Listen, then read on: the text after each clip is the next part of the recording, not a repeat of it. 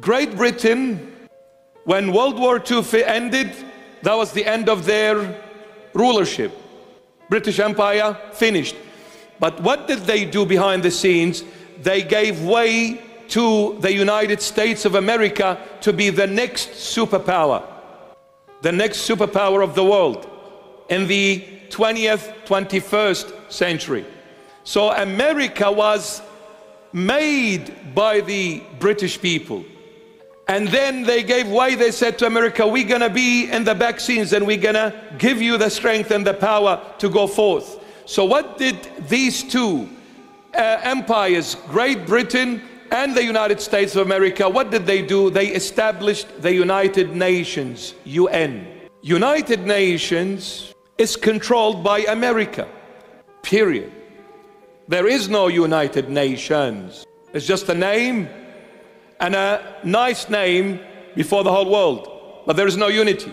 Why there is no unity? Because these nations are united outside of God's circle. The ancient Babylon, people gathered together to build something for themselves called the Tower of Babel. So they tried to build a tower. What, uh, what was the intention behind this tower?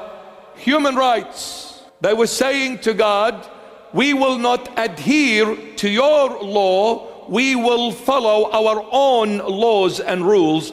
Therefore, we will build this tower and make a name for ourselves against you, God.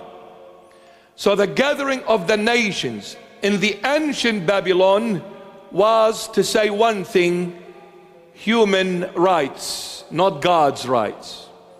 The Tower of Babylon is vividly clear in the 20th, 21st century when Great Britain and United States of America established this. It was called the Leagues of Nations. And the name changed into the United Nations Tower, which is in Manhattan, New York. All these nations, when they get together, what are they trying to implement? Human rights, not God's.